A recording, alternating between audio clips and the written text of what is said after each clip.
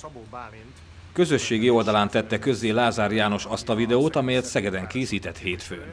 Orbán Viktor miniszterelnök úr megbízásából és kérésére egy kormányrendeletet hozok, amely a szeviébb károsultaknak sok-sok milliárd forintnyi támogatást, illetve kártalanítást jelent. A 8 éve húzódó ügyben 3 milliárd forintot kaphat, azaz 106 még ma is működő vállalkozás, amelyeket annak idején nem fizetett ki az azóta csődbüntettel vádolt cég.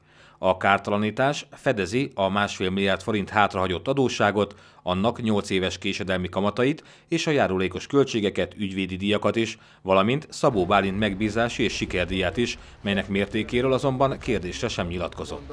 Szabó korábban is azt hangoztatta, hogy az eltűnt pénzek szerinte szocialista politikusokhoz vándoroltak.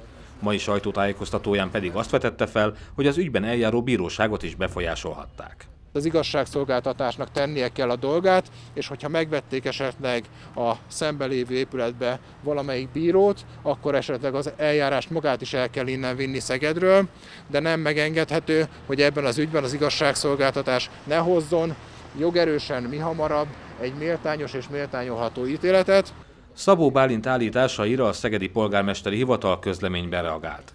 Azt írják, hétfőn kiderült, hogy Szabó Bálint a Fidesznek dolgozik. Szabó Bálint dolga az ügyek folyamatos generálása a Fidesz érdekében Botka László körül. Lázár János kancellária miniszter most közpénzből fizeti ki őt ezért. Azt is írják, hogy Lázár János a Szeviépet a Szegedi Önkormányzat házi cégének nevezte, holott az első Orbán kormány a Szeviépet 28 állami beruházásba vonta be, ami 15 milliárd forinthoz juttatta a céget. Arra is rámutatnak, hogy számtalan építőipari és sajnos nagyon sok szegedi cég is bedőlt. Ezek egyikében sem vállalta be a kártalanítást az állam, csak a Szeviép esetében egy hónappal a választások előtt.